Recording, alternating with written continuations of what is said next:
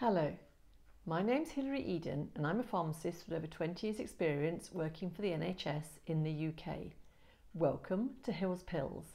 In these videos I'm going to provide you with some useful information about medicines that have been prescribed for you by your doctor. In this video I'm going to talk about pregabalin capsules. Pregabalin can be used to treat epilepsy, neuropathic pain or a condition called generalized anxiety disorder. You shouldn't take pregabalin capsules if you know you are allergic to them, and they should be taken with caution in the elderly as they may lead to dizziness or sleepiness, which can lead to falls.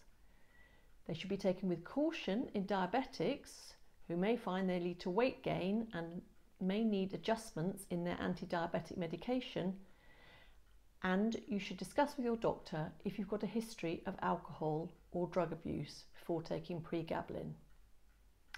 Pregabalin capsules are quite straightforward to take. They come in a range of strengths from 25 milligrams up to 300 milligram capsules and the usual daily dose is 150 to 600 milligrams.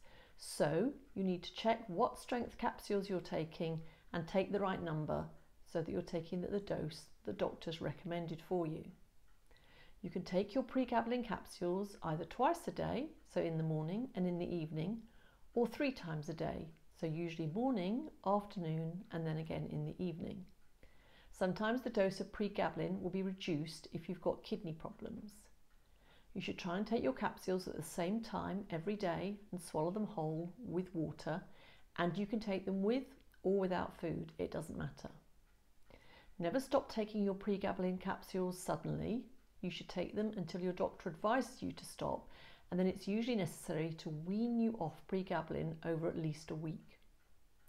If you take too many pregabalin capsules, or you think somebody else has taken too many pregabalin capsules, you should go to accident and emergency because an overdose of pregabalin can lead to confusion, agitation, restlessness, and make you very confused. If you forget to take your pregabalin, pregabalin capsules, just take the next dose at the time it's due. Do not double up the doses. There are some side effects of pregabalin capsules. Very rarely, people can have an allergic reaction to pregabalin. So, if you develop a sudden onset shortness of breath, swelling of the mouth, face, lips, or eyes, or develop, develop skin blisters or peeling of the skin, you may be having an allergic reaction, stop taking the capsules and seek medical advice straight away. The most common side effect of pregabalin that occurs in more than 1 in 10 people is dizziness, drowsiness and headache. And the next most common side effects that occur in about 1 in 10 people are increase in appetite and that can lead to weight gain. You can have mood changes, so for example, elation, confusion or disorientation. Pregabalin can reduce your sex drive and can lead to erectile dysfunction in men, and it can make you irritable and decrease your attention span. Pregabalin can lead to vision problems, so blurred vision or double vision, so go back and see your doctor if that occurs, and it can also lead to sleepiness. Pregabalin can lead sometimes to feelings of harming yourself or suicide, and it can lead to heart or kidney problems. So Make sure your doctor's aware if you have existing cardiovascular disease or kidney problems.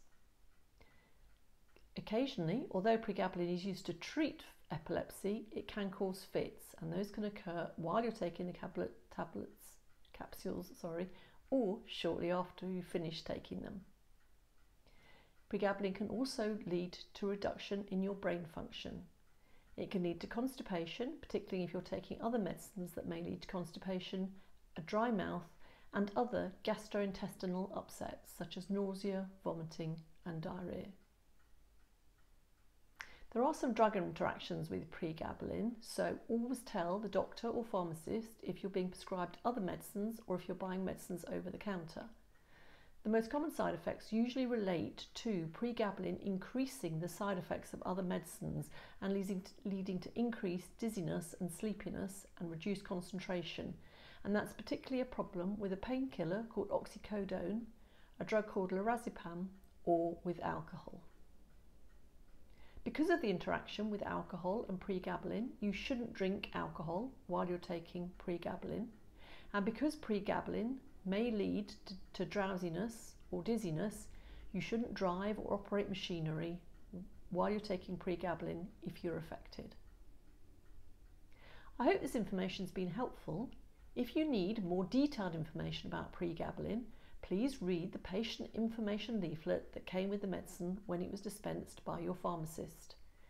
If you don't have a copy of this leaflet or you need another one, you can download it from www.medicines.org.uk. If you're taking other medicines, you might want to see my other videos. These are either available on YouTube or on my website www hillspills.com. Thanks very much.